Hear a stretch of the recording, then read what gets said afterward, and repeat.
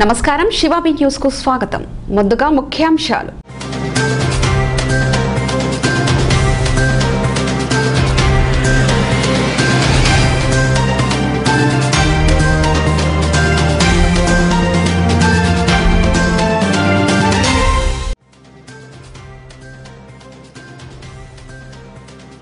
Corona నివారణకు ప్రజలు నిబంధనలు పాటించాలి. సబ్ కలెక్టర్ కార్యాలయంలో మీడియాతో మాట్లాడిన సబ్ కలెక్టర్ గోపాలకృష్ణ.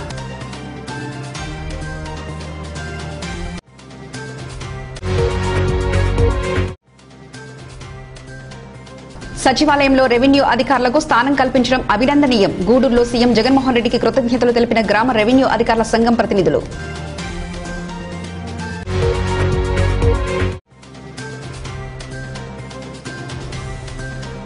కోవిడ్ పట్ల జాగ్రత్తలు తీసుకోవాలి. మనుబోలు ప్రాంతంలో లేఅవుట్ను పరిశీలించిన నెల్లూరు ఆర్డీఓ హుసేన్ సహాయం.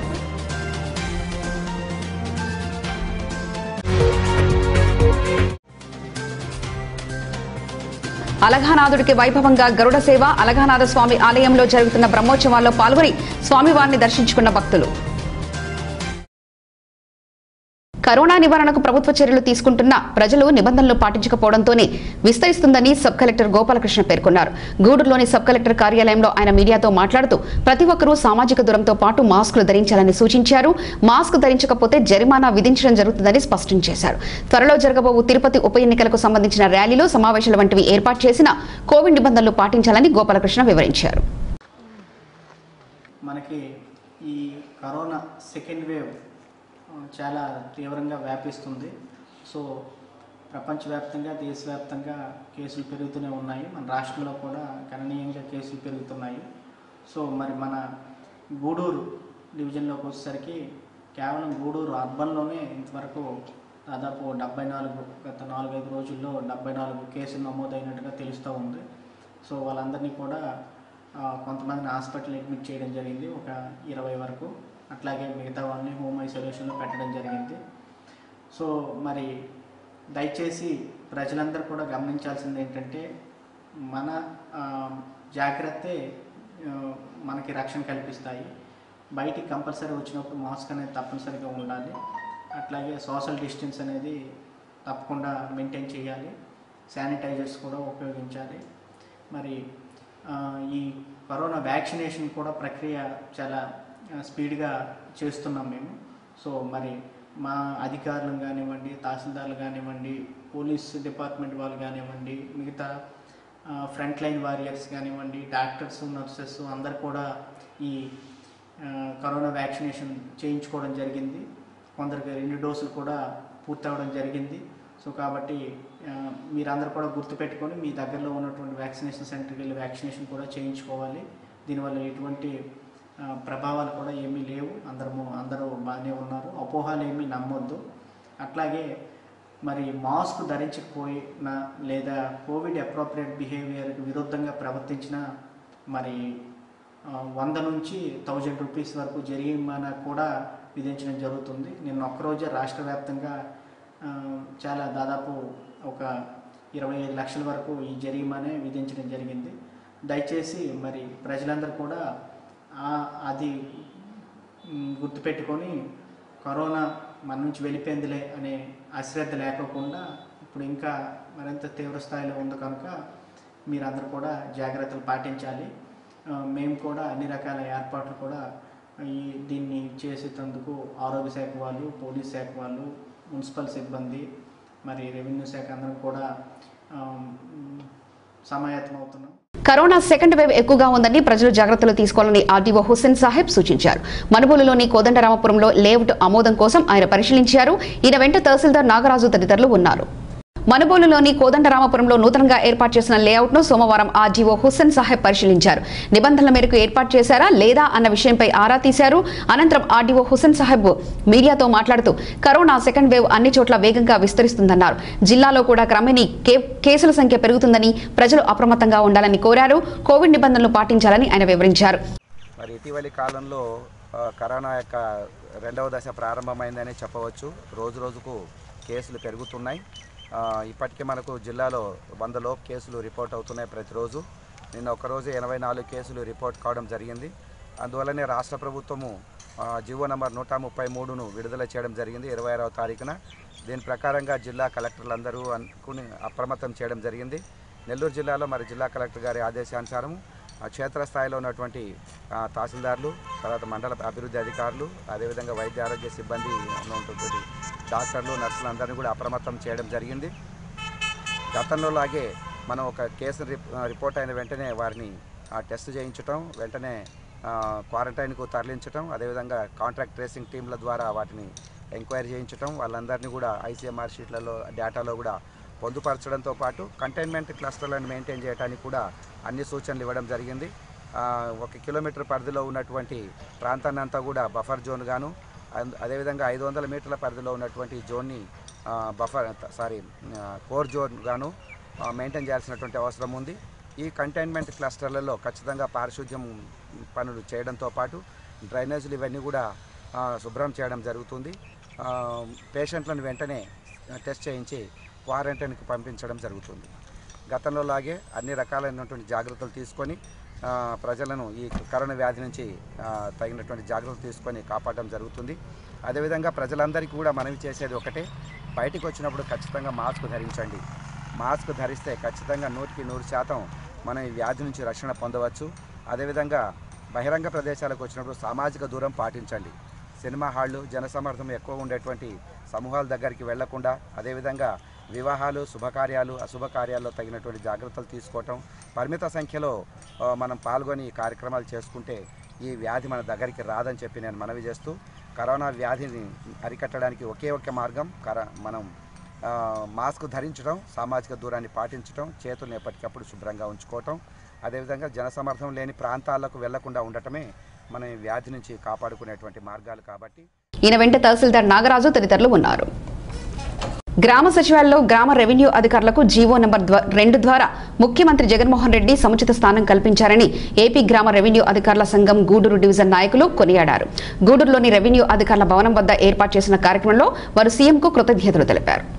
గూడూరులోని గ్రామ రెవెన్యూ అధికారుల భవనం వద్ద గ్రామ రెవెన్యూ అధికారుల సంఘం డివిజన్ నాయకులు సమావేశమై సీఎం జగన్మోహన్ రెడ్డికి కృతజ్ఞతలు తెలిపారు. ఈ సందర్భంగా అసోసియేషన్ నాయకులు మాట్లాడుతూ సచివాలయంలో వీఆర్ఓలకు సముచిత స్థానం ప్రభుత్వం కల్పించిందన్నారు. ఈ మేరకు జీవో రెండును విడుదల చేసిందని హర్షం వ్యక్తం చేశారు. తామంతా రెట్టింపు ఉత్సాహంతో పనిచేస్తామని పేర్కొన్నారు. పలువురు పంచాయతీ కార్యదర్శులు రెవెన్యూ అధికారులకు విమర్శించడం సరికాదన్నారు.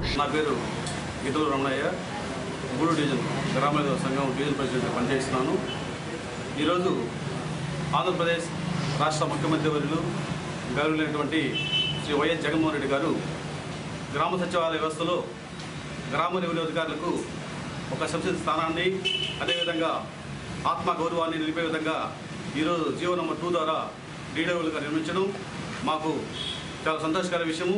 అదేవిధంగా మా పైన ప్రభుత్వం ఇచ్చినటువంటి నమ్మకాన్ని ఉమ్ము చేయకుండా అందరికీ కలుపుకొని సమన్వయంతో ముందుకెళ్తామని ఆయనకి ఈరోజు గూడు జిల్లా గ్రామ సంఘం తరఫున ప్రత్యేకమైనటువంటి ధన్యవాదాలు తెలియజేస్తున్నాం. మిత్రులారా మాకు ఈ సందర్భంగా మీడియా తరఫున మేము ఒకటే చెప్పదలుచుకున్నాము. పంచాయత్ సెక్రటరీలు మా సోదరులు మేము వాళ్ళందరం కూడా కలిసికట్టుగా ఇన్ని రోజులు సమన్వయంగా పనిచేశాము. అనాదిగా ఈ రాష్ట్రంలో మొట్టమొదటి నుంచి గ్రామ పాలన గ్రామ పరిపాలన అనేది మున్సబు కర్నూలు నుంచి స్టార్ట్ అయింది.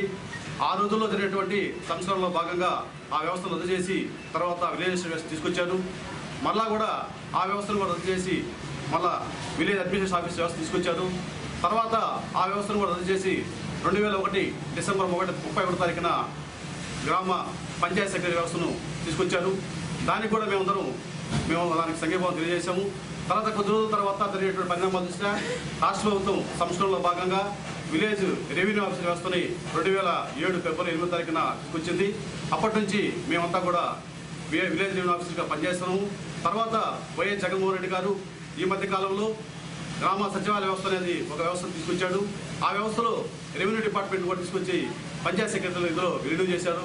మేము కూడా సంస్కరణలో భాగంగా రాష్ట్ర ప్రభుత్వం చెప్పినటువంటి దానికి తూచి తప్పకుండా మేము పనిచేశాము.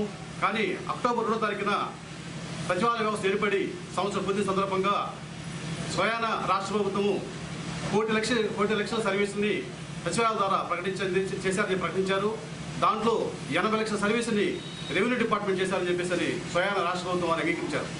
దాంట్లో ఉన్నటువంటి ఏ సర్వీస్ అయినా చూసుకోండి. రెవెన్యూ డిపార్ట్మెంట్ వారు చేసినటువంటి ఎనభై సర్వీసులు మేమంతా కృషి చేసి ఎలాంటి పొరపాటు లేకుండా అవతకం లేకుండా నవరత్నాల్లో భాగం అన్ని కార్యక్రమాలు కూడా మేమందరం సమిష్టిగా కృషి చేసి రాష్ట్ర ప్రభుత్వానికి ఒక మంచి పేరు ప్రతిష్టలు తీసుకొచ్చాం. ఒక క్రమశిక్షణ గల రెవెన్యూ డిపార్ట్మెంట్లో అంతర్భాగమైనటువంటి విఆర్ఓ వ్యవస్థని అదేవిధంగా రెవెన్యూ డిపార్ట్మెంట్ వ్యవస్థని కొంతమంది విడివిడి జ్ఞానంతో వ్యవస్థను విమర్శించడం సరైన పద్ధతి కాదు. ముఖ్యమంత్రి వర్యులు ఇటీవల తీసుకున్న నిర్ణయం నిర్ణయం పట్ల గ్రామ అధికారులు పూర్తిగా ఆయనకి కృతజ్ఞతలు తెలియజేస్తున్నారు. మెయిన్ ముఖ్యంగా మొదటి నుంచి రెవెన్యూ అనేది ఒక అన్ని డిపార్ట్మెంట్లకి సింహం సింహభాగాన పనిచేస్తుంది. అదేవిధంగా ఏ కార్యక్రమాలు వచ్చినా కానీ రెవెన్యూ లేనిదే ఆ ప్రభుత్వ కార్యక్రమం విజయవంతం కాదు. ఇలాంటి పరిస్థితుల్లో సచివాలయంలో ఇప్పుడు దాకా కూడా సచివాలయం గవర్నమెంట్ ఏర్పరిచిన సచివాలయం వ్యవస్థలో డీడీఓలుగా సోదర పంచాయతీ సెక్రటరీ ఉన్నారు. మా విఆర్ఓ సోదరులు ఎప్పుడు కూడా పంచాయతీ సెక్రటరీతో కలిసి పనిచేసేదానికి ఇప్పుడు దాకా ఎలాంటి ఫీల్ అవ్వటం కానీ తక్కువగా మేము ఇదవటం కానీ ఎక్కడ జరగలేదు. ప్రభుత్వం వారు తీసుకున్న నిర్ణయం అంటే ఎక్కువ వర్క్ విఆర్ఓ మీద నడుస్తుంది కాబట్టి డీడీఓలుగా విఆర్ఓని నియమించారు. దీంట్లో కొంతమంది సోదరులు అందరూ పంచాయతీ సెక్రటరీలు కాదు. మాకు తెలిసినంతవరకు కొంతమంది పంచాయతీ సెక్రటరీ సోదరులు అదేదో మా ప్రెసిడెంట్ గారు చెప్పినట్టు డివిజన్ ప్రెసిడెంట్ గారు చెప్పినట్టు అదేదో పెత్తనం పోయినట్టు లేకపోతే కిరీటాలు పడిపోయినట్టు ఫీల్ అవుతున్నారంట. అది చాలా అసంబద్ధమైన విషయము. ముఖ్యమంత్రి గారు మాకు వీఆర్ఓ డీడీఓగా నియమించడానికి మేము గూడూరు డివిజన్ తరఫున అష్టం ప్రకటిస్తున్నాము ఇప్పుడు దాకా పంచాయతీ సెక్రటరీ కలిసి మేమందరం పనిచేసాము ఈరోజు మమ్మల్ని పంచాయత్ పంచాయతీ సెక్రటరీలు మాకు డీడీఓ ఇచ్చిన దానికి వాళ్ళు బాధపడుతున్నారు అని మేము ఇప్పుడు వాళ్ళతో మేము సహకరించాం కాబట్టి వాళ్ళు మాకు సహకరించాలని కోరుతున్నాం ఈ కార్యక్రమంలో అసోసియేషన్ నాయకులు నాగేంద్ర శంకర్ రెడ్డి చంద్ర శ్రీను రాజు శ్రీనివాసులు నాయుడు పుల్లయ్య చెంచయ్య రమణయ్య తదితరులు పాల్గొన్నారు. ఇంటి పన్ను బకాయిలు వెంటనే చెల్లించాలని పురపాలక కమిషనర్ ఓబులేషు ప్రజలను కోరారు. గూడూరులోని పురపాలక కార్యాలయంలో ఆయన మీడియాతో మాట్లాడుతూ ఈ నెల ముప్పై ఒకటో తేదీలోపు చెల్లించాలన్నారు. లేనిచో ఇళ్ళ వద్దకు వచ్చి డబ్బులతో వసూలు చేస్తామని కమిషనర్ వివరించారు. గూడూరు పట్టణంలో రెండు వేల ఇరవై ఇరవై ఒకటి ఆర్థిక సంవత్సరానికి సంబంధించినటువంటి ఆస్తి పన్ను కుళాయి పన్ను ఖాళీ స్థలం పన్నుతో పాటు ఎంక్రోచ్మెంట్ ట్యాక్స్ అదేవిధంగా ట్రేడ్ లైసెన్స్ ఫీజు ఇవన్నీ కూడా వసూలు చేస్తూ ఉన్నాము. గతంలో చేసినటువంటి గతంలో కంటే కూడా మిన్నగా గ్రామ సచివ వార్డు సచివాలయ సిబ్బంది రావడంతో చాలా పద్ధతిగా ఆర్గనైజ్డ్గా ఈ ట్యాక్స్లన్నీ కూడా వసూలు చేయడం జరుగుతూ ఉంది. ప్రజలు కూడా పెద్ద మనసుతో సహకరించి ట్యాక్స్లు కడుతూ ఉన్నారు. అయినప్పటికీ ఇంకా కొంతమంది మొండి బకాయిదారులు ఈ ట్యాక్స్ కట్టకుండా తప్పించుకునే ప్రయత్నం చేస్తూ ఉన్నారు. వీరిపైన చట్టపరమైనటువంటి చర్యలు తీసుకుంటామని చెప్పి ఇప్పటికీ తెలియజేస్తున్నాం. ముఖ్యంగా మొండి బకాయిదారులు ఎవరైతే ఉన్నారో వారి పేర్లను ప్రధాన కూడలలో డిస్ప్లే చేయడం వారి ఇళ్ళ దగ్గర దండోర వేయడం వారి పేర్లను మైకులు అనౌన్స్మెంట్ చేయడం కూడా చేస్తామని చెప్పి తెలియజేస్తూ ఈ నెల ముప్పై ఒకటో తారీఖున ఈ ఆర్థిక సంవత్సరానికి చివరి రోజు కాబట్టి ఇంకా మొండి బకాయిదారులు పన్ను కట్టని వారు ఎవరైనట్లయితే త్వరితగతిన ఈ నెల ముప్పై ఒకటి లోపున పన్ను కట్టాలని చెప్పి మీ సచివాలయంలో ఉన్నటువంటి ప్రతి సచివాలయంలో కూడా ఈరోజు కౌంటర్లు ఏర్పాటు చేసి ఉన్నాయి. పేదలకు కిలో బియ్యం రెండు రూపాయలకే అందించిన ఘనత దివంగత నేత నందమూరి తారక రామదాని టీడీపీ నాయకులు పేర్కొన్నారు. తెలుగుదేశం పార్టీ నలభైవ ఆవిర్భావ దినోత్సవ సందర్భంగా మనుబోలులోని వాటర్ ట్యాంక్ వద్ద నాయకులు పార్టీ జెండాను ఆవిష్కరించి సంబరాలు జరుపుకున్నారు. ఈ కార్యక్రమంలో టీడీపీ నాయకులు దండు చంద్రశేఖర్ రెడ్డి పచ్చిపాల రామరెడ్డి రాజాగౌడ్ సాని వెంకటకృష్ణయ్య కోటిరెడ్డి సుధీర్ రెడ్డి రమేష్ రెడ్డి తదితరులు పాల్గొన్నారు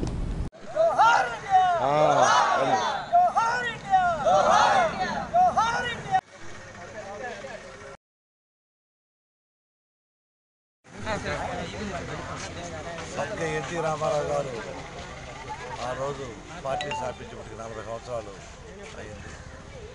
అంతకుముందు ప్రజలకి పార్టీలో ఎవరో పెద్ద నాయకులు అంతకుముందు రాజకీయాలు చేసేవాళ్ళు. ఈ ఎన్టీ రామారావు గారు పార్టీ పెట్టిన తర్వాత బడుగు బలహీన వర్గాల ప్రజలు ఎంతో ఆతృతగా ఆయన్ని ముఖ్యమంత్రిగా ఊహించిన విధంగా చేశారు. ఆయన వచ్చినప్పటి నుంచి ఒకప్పుడు బియ్యం అనేది తెలియనటువంటి కుటుంబాలు నూటికి ఎనభై పర్సెంట్ ఉండేటివి. వాళ్ళంతా కూడా ఎన్టీ రామారావు వచ్చి కిలో రెండు రూపాయలు బియ్యం ప్రజలకి ఎంతో ఆహారం తెచ్చిన మహనీయుడు. ఆయన చేసిన అభివృద్ధి కార్యక్రమాలు మండల వ్యవస్థ ఇంకా చెప్పాలంటే అది అలివిగానటువంటి ప్రపంచంలో జరిగినటువంటి విధంగా ఎన్టీ రామారావు గారు చేసినటువంటిది. ఆ పార్టీని ఈరోజు చంద్రబాబు నాయుడు ఆ పార్టీ నాయకులు కార్యకర్తలు బస్కందాలు చేసుకుని శ్రీ నందమూరి తారక రామారావు. నలభై ఏళ్ళ క్రితం మార్చి ఇరవై తొమ్మిదిన పార్టీ పేద బడుగు బలహీన ఎస్సీ ఎస్టీ కోసం ఒక పార్టీని ఆవిష్కరించి దాన్ని దిగ్విజయంగా ఇప్పటికీ మనలాంటి కార్యకర్తలు గట్టిగా పునాదులు ఆ రోజు వేసిన పునాదులు కానీ ఆ రోజు ఉన్న అభిమానులు ఈరోజు వయసు రీత్యా భయపడిన వాళ్ళు ఉన్నారు. ఇప్పుడు కొత్తగా యువకులు పార్టీకి వచ్చి పార్టీలో వచ్చి చేరి పార్టీని మళ్ళీ అధికారంలోకి తీసుకురావాలని యువత ముందే మాలాంటి పెద్దలు కూడా యువతని వాళ్ళు ఎంకరేజ్ చేసి అందరినీ పాత కొత్త అందరి నాయకుల్ని కూడా కలుపుకొని ఇప్పుడు జరగబోతున్న తిరుపతి పార్లమెంటు అసలు ఎన్నికల్లో కూడా పాత తరం వాళ్ళని కొత్త కొత్తగా ఉండే యువకుల్ని ఎన్టీఆర్ అభిమానుల్ని జూనియర్ ఎన్టీఆర్ అభిమానుల్ని బాలకృష్ణ అభిమానుల్ని అందరినీ కూడా కలగలిపి వార్డు వార్డుకి ఒక కమిటీ బూత్ కమిటీని ఒకటి ఏర్పాటు చేసి ఆ బూత్ కమిటీలో ఒక ఐదుగురు మంచి గట్టి సభ్యులుగా ఏర్పాటు చేసి వాళ్ళని మళ్ళీ అక్కడ ఉండే ఓటర్స్ని మొబలైజ్ చేసి మొన్న జరిగిన పంచాయతీ ఎలక్షన్ కాకుండా ఇప్పుడు జరగబోయే పార్లమెంట్ ఎలక్షన్కి మనం ఒక ప్రెస్టేజ్ ఇష్యూగా తీసుకొని ఇది తిరుపతి పార్లమెంట్ ఎలక్షన్లో తెలుగుదేశం పార్టీ గెలిపించి జగన్కి కనువిప్పు కలిగించాలి. తన నేత నందమూరి తారక రామారావు గారు నలభై ఏళ్ళ క్రితం సృష్టించిన ఒక ప్రపంచం కరెక్ట్గా నలభై ఏళ్ళ తర్వాత మనం ఈరోజు జరుపుకుంటున్నాం. కానీ ఈరోజు అధికారంలో లేకపోవచ్చు. కానీ రాబోయే రోజుల్లో తప్పక మళ్ళీ మన అధికారంలోకి వస్తుంది. ఇది ఒక సంబరం అప్పుడు ఇంకా ఘనంగా జరుపుకుంటామని చెప్పి మనస్ఫూర్తిగా కోరుకుంటున్నాం. సైదాపురం మండలంలో వార్తా దినపత్రిక విలేకరుగా పనిచేస్తున్న జఫరుల్లా అనారోగ్య కారణంగా మృతి చెందాడు. ఈయన మృతికి ప్రింట్ అండ్ మీడియా ప్రతినిధులు వివిధ పార్టీలకు చెందిన నాయకులు సంతాపం తెలియ- తెలిపారు. ఈయన అంత్యక్రియలు రాపూర్లో మంగళవారం మధ్యాహ్నం జరుగుతాయని సైదాపురం మండల మీడియా ప్రతినిధులు తెలిపారు. సైదాపురం మండలంలోని వేములచేడు ప్రాంతానికి చెందిన జఫరుల్లా వార్తా దినపత్రికలో సుదీర్ఘకాలం నుండి పనిచేస్తున్నారు. ఇటీవల కాలంలో ఆయన అనారోగ్యానికి గురై హైదరాబాద్లో చికిత్స పొందుతున్నారు. పరిస్థితి విషమించడంతో జఫరుల్లా మృతి చెందాడు. దీంతో మీడియా ప్రతినిధులు వివిధ రాజకీయ పార్టీలకు చెందిన నాయకులు తదితరులు తమ సంతాపం వ్యక్తం చేశారు. వారి కుటుంబ సభ్యులకు ప్రగాఢ సానుభూతి వ్యక్తం చేశారు. ఆయన మృతదేహం సోమవారం రాత్రికి రాపూర్కు చేరుకుంటుందని మంగళవారం మధ్యాహ్నం అంత్యక్రియలు జరుగుతాయని మీడియా ప్రతినిధులు తెలిపారు. సైదాపురంలోని రాపూరు రోడ్డు సమీపంలో కోళ్ళ వ్యర్థ పదార్థాలు పడేస్తుండటంతో స్థానికులు అభ్యంతరం వ్యక్తం చేస్తున్నారు. అసలే కరోనా సమయంలో చికెన్ దుకాణ యాజమానుల వర్ధాలను ప్రజలు తిరిగే చోట్ల పడేస్తున్నారని అధికారులు చర్యలు తీసుకోవాలని కోరుతున్నారు. సైదాపురం గ్రామ రాపూరు రోడ్డు ప్రాంతంలో నిత్యం ప్రజలు తిరిగే చోట కోల వ్యర్థాలు ఉంటుండటంతో స్థానికులు ఆందోళన వ్యక్తం చేస్తున్నారు. వ్యాధుల బారిన పడాల్సి వస్తుందని వాపోతున్నారు. ఆయా ప్రాంతాల్లో చికెన్ దుకాహకులు నిర్వహించే యజమానులు వ్యర్థాలను రోడ్డు పక్కన పడేస్తున్నారు. దీంతో ఆ ప్రాంతమంతా దుర్గంధభరితంగా ఉంటుంది. ప్రస్తుతం కరోనా కేసులు ఎక్కువ అవుతున్న సమయంలో పరిశుభ్రంగా లేకపోవడంతో ప్రజలు ఆందోళన వ్యక్తం చేస్తున్నారు. ఇకనైనా అధికారులు స్పందించి చర్యలు తీసుకోవాల్సిన అవసరం ఎంతైనా ఉంది. ఈ విషయంపై స్థానికులు మాట్లాడుతూ రోడ్డు పక్కగా కోళ్ళ వ్యర్థాలు పడేస్తుండటంతో వ్యాధులు ప్రబలుతున్నాయని తెలిపారు. అధికారులు స్పందించి చర్యలు తీసుకోవాలని వారు కోరుతున్నారు. సైదాపురం గ్రామంలో ఇక్కడ స్థానికంగా ఉన్నటువంటి చికిత్సా యాజమాన్యం ఎంతో నిర్లక్ష్యంతో వాళ్ళు అక్కడ మిగిలినటువంటి ఆ చికెన్ వేస్ట్ అంతా ఇక్కడ రోడ్డు పక్క దగ్గర గ్రామానికి చాలా దగ్గరలో రోడ్డు పక్కనే పడేయడంతో వచ్చేటువంటి వాహనదారులు కానీ ఇక బాటసార్లు కానీ మేమంతా పొద్దున్న వాకింగ్ పోతుంటాము. ఆ దుర్గంధాన్ని భరించలేక ఎంతో ఇబ్బంది పడుతున్నాము. దీనికి సంబంధించి లోకల్ ఇదివరకు అక్కడ హెల్త్ డిపార్ట్మెంట్ హెల్త్ ఆఫీసర్లు కూడా చెప్పాము. అదేవిధంగా పంచాయత్ కార్యదర్శి చెప్పాము. వాళ్ళు వాళ్ళు నోటీస్ ఇచ్చి యాక్షన్ తీసుకుంటా అని చెప్పారు. కానీ వాళ్ళ విషయంలో ఏమి శ్రద్ధ ప- శ్రద్ధ తీసుకోలేదు. కాబట్టి ఇప్పటికి కూడా ఈ దారి పోవాలి చాలా ఇబ్బందికరంగా ఉంది. వాళ్ళు ఆ చికెన్ యాజమాన్యం వాళ్ళు చాలా నిర్లక్ష్యంగా ఇప్పటికి రోడ్డు పక్కన పడేసి ఉండడం దానివల్ల వాటి కోసం కుక్కలు పందులు వచ్చేసి అక్కడ చాలా దుర్ఘరమైనటువంటి ఇబ్బంది పరిస్థితి కాబట్టి సంబంధిత అధికారులు ఇప్పటికైనా చర్య తీసుకొని గూడూరు పట్టణంలో వెలసియున్న శ్రీ అలఘానంద స్వామి దేవాలయంలో జరుగుతున్న బ్రహ్మోత్సవాల్లో భాగంగా ఆదివారం రాత్రి స్వామివారికి గరుడ సేవ వైభవంగా జరిగింది. భక్తులు పాల్గొని అలఘనాథుని దర్శించుకున్నారు. అనంతరం స్వామివారు గరుడ వాహనంపై కొలువు తీరారు. ఉభయధాతలుగా doctor C R Reddy Bommireddy Venkata Subbareddy జ్ఞాపకార్థం వారి ధర్మపత్ని ఇందిరమ్మ వ్యవహరించారు.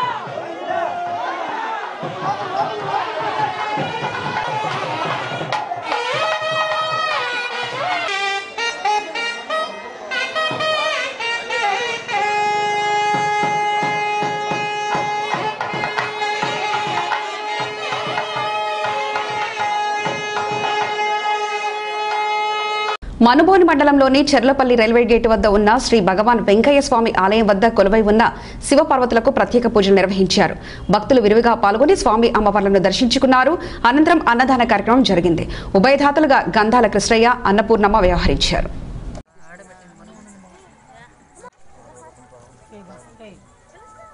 జగద్గురువే నమ. వ్యోమకేశాయ నమ. మహాశివజనకాయ నమ. పార్వతీపదర మహాదేవ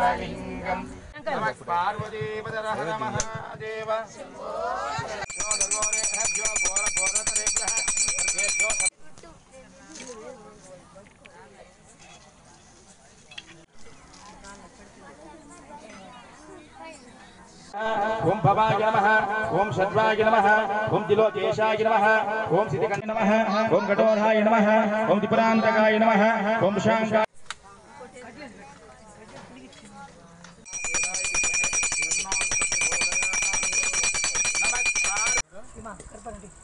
దానికి హారతి తీసుకోండి.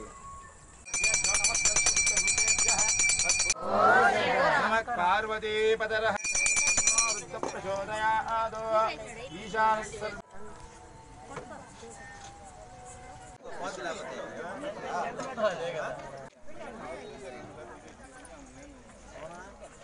గూడూరు పట్టణంలో పటేల్ వీధిలో ఏర్పాటై ఉన్న సాయి సత్సంగ్ నిలయంలో పౌర్ణమి సందర్భంగా ఆదివారం రాత్రి విశేష పూజలు జరిగాయి. మహా నవాభరణ పూజ కుంకుమ పూజ ఘనంగా నిర్వహించారు. భక్తులు పాల్గొని స్వామి అమ్మవార్లను దర్శించుకున్నారు. అనంతరం తీర్థ ప్రసాదాలు స్వీకరించారు. ఈ పూజా కార్యక్రమాలకు నిర్వాహకులు కోట ప్రకాశం కోట సునీల్ కుమార్ ఆధ్వర్యంలో జరిగాయి.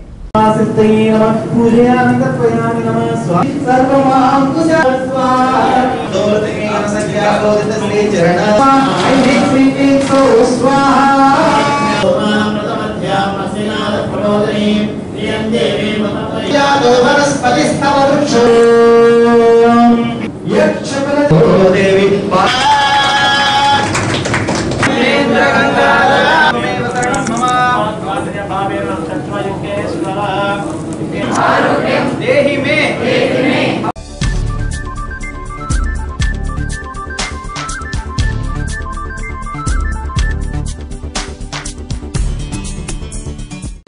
వార్తలు ముగించే ముందు ముఖ్యాంశాలు మరోసారి చూద్దాం.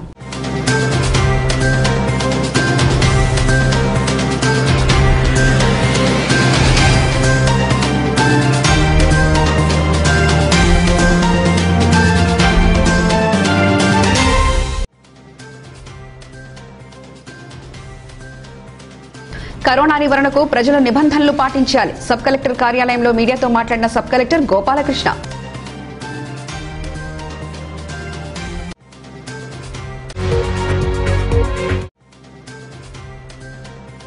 సచివాలయంలో రెవెన్యూ అధికారులకు స్థానం కల్పించడం అభినందనీయం. గూడూరులో సీఎం జగన్మోహన్ రెడ్డికి కృతజ్ఞతలు తెలిపిన గ్రామ రెవెన్యూ అధికారుల సంఘం ప్రతినిధులు.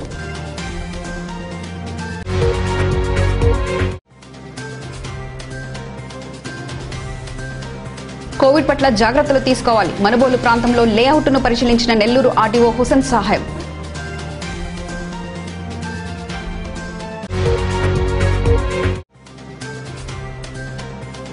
అలఘానాథుడికి వైభవంగా గరుడ సేవ అలఘానాథ స్వామి ఆలయంలో జరుగుతున్న బ్రహ్మోత్సవాల్లో పాల్గొని స్వామివారిని దర్శించుకున్న భక్తులు. సమగ్ర సమాచార శ్రవంతికై చూస్తూనే ఉండండి. శివాబి న్యూస్. ఇవి ఇప్పటివరకున్న అప్డేట్స్. మరో బులెటిన్ మళ్ళీ కలుసుకుందాం. నమస్కారం.